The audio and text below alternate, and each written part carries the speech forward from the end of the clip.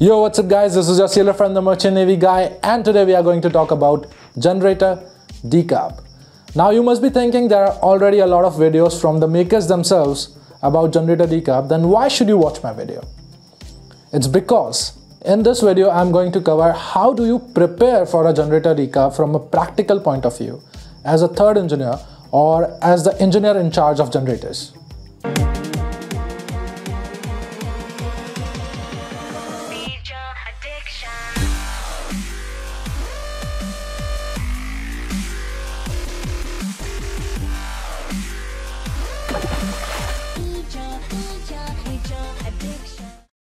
Now, most of you guys don't know that on my last ship, Shandong Zihe, I got promoted to the rank of third engineer, which meant that taking care of boilers and generators was my responsibility now. And the number one generator was due for decarb. Now, on a big job like decarb, all the engine room staff comes together. You're supervised by your seniors, you're assisted by your juniors. So usually the job ends up in a success. But as a duty engineer, as the engineer in charge, of the machinery. Your job is to make sure that the job goes as smooth as possible. Minimize the chaos and running around during the decarb. Keep all the spare parts ready with reference pages from the manual. And I'm here to tell you exactly how to achieve all of that with these simple steps. Number one, take the spare part inventory and make sure you have all the consumables required for the decarb. You will find most of the required consumables in these two, three drawings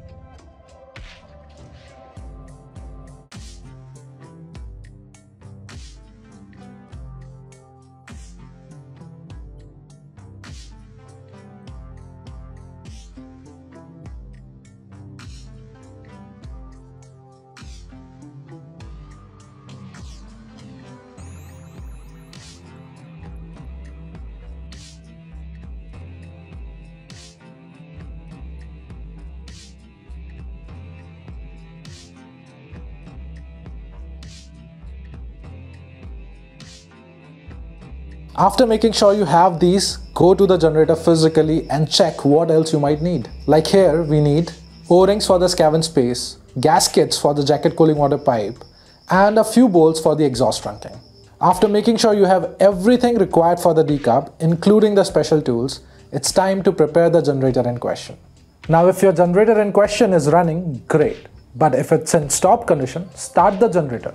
Change over the fuel from heavy fuel oil to marine gas oil and then take the generator offload, let it cool down for some time and then stop the generator.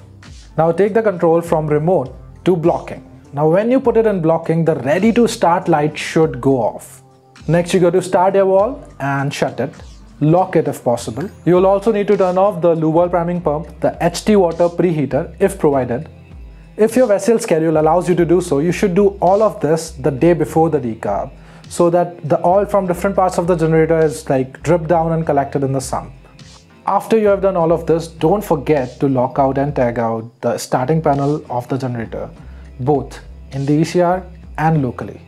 Well, that's about it. Now you can start opening your generator.